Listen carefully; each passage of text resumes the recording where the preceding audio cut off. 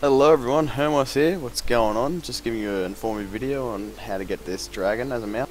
So you may have noticed that you can't attack this guy. He's uh, He's got his protective buff around him called Nimbus Shroud. Uh, it's always active until you get one Sky Crystal. And to get one of these Sky Crystals you need to get 10 Sky Shards which can be found uh, from level 90 Mop Mobs. Bit of a tongue twister to say. Mop Mobs. so yeah, once you get the 10 you just combine them into a Sky Crystal and then you can fight this rare Dragon Spawn.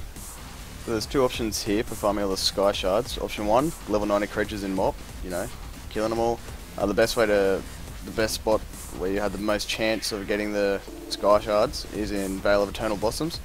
And the next option is Daily Quest. You get Treasures of the Vale, which is just an item they drop. It's a random, it's like a bag, you right click it and a, you get a random drop and you have a high chance of getting a Sky Shard from it.